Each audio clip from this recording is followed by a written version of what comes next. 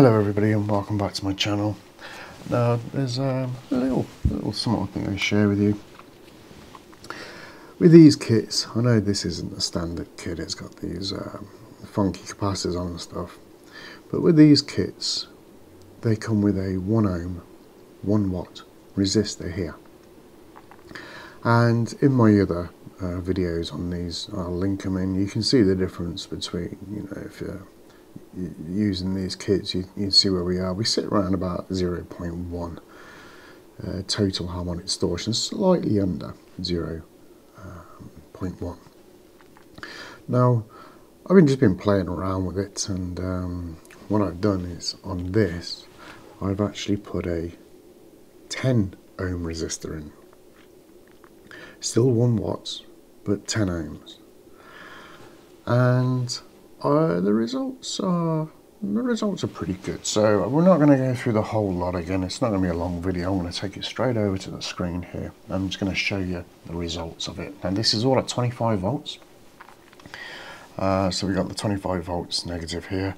Got a virtual ground here and we've got a 25 volts positive here.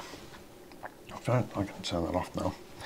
Uh, we're going into 8 ohms. I've not tried it with 4 ohms. We're going into 8 ohms and we're using the same scope here and the Digilent Analog Discovery 2.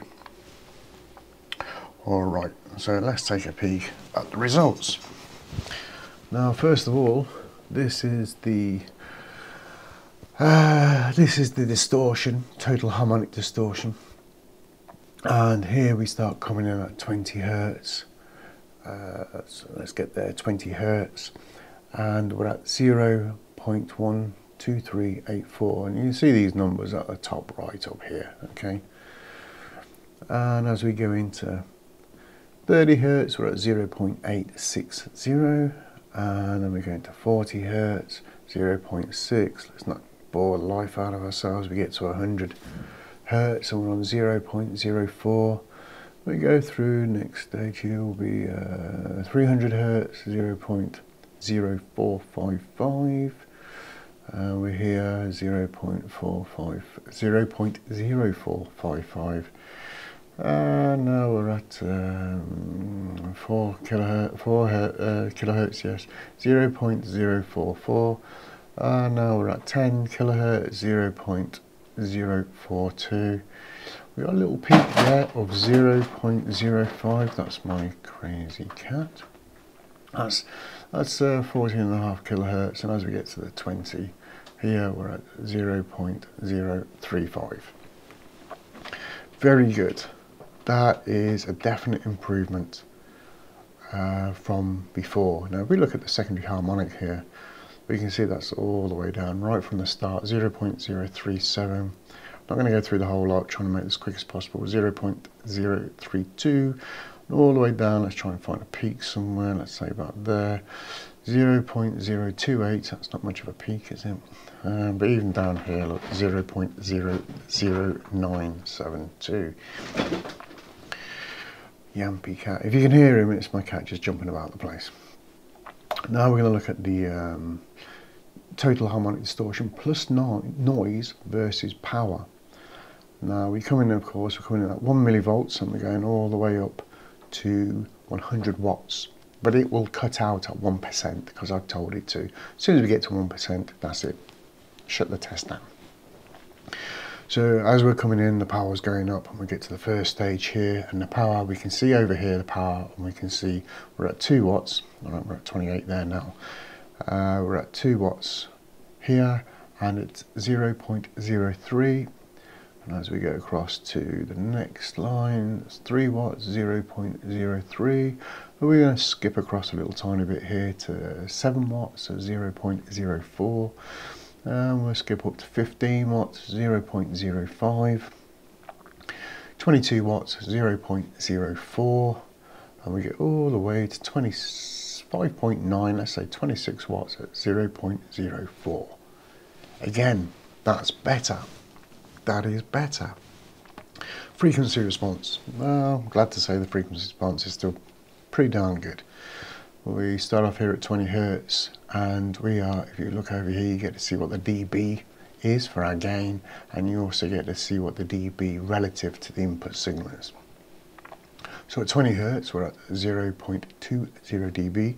We go to where it sort of looks like it sort of peaks up to the highest part there and then with uh, the dBr is um, 0.06 and we're at 27.1 dB and that's at 50 hertz basically. We go all the way across, it's a lovely even flat response. No real deviation, only measurable in the um, in the tens of milli dB. And this is when we're at, uh, that's at 30 hertz, so really we're only measuring to here anyway. And we are still at 27.0 dB. So no great fluctuation or anything like that that's much better. This is a lot better now. We can see it is definitely under the, um, oh, let's go back to THD, definitely underneath that 0.1% where we were before. We were basically just sticking just under it. I mean, it is now spec, and this is not a bought chip, uh, the store-bought chip. This is just the chip that is supplied with it. Um, so it is basically the kit. Just find 10 ohm resistors, one watt, and stick them on there. So we're just going to tack on a little bit of music onto the end of this. See what you think to this. Uh, this is another uh, freebie. It's a track called Motivate Sound, Alex. I'm sorry if I mispronounced that. 176 kilobits MP3.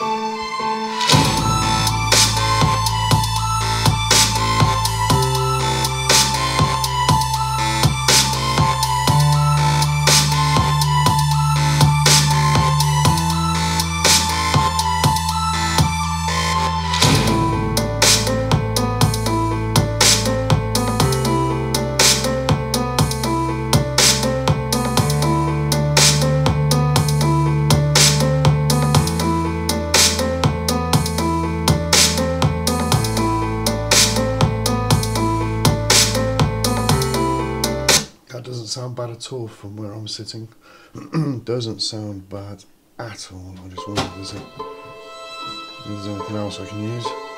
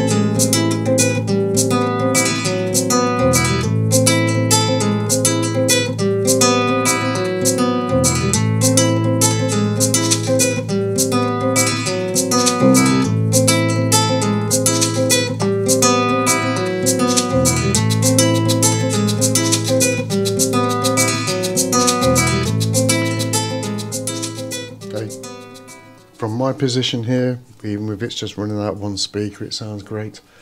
Sounds absolutely great. Um, I don't think you can actually beat these for a little tiny, what it is, for a little tiny setup like that. I don't think there's a way to really beat it. Anyway, that's my opinion. I hope you enjoyed the video. Catch you in the next one.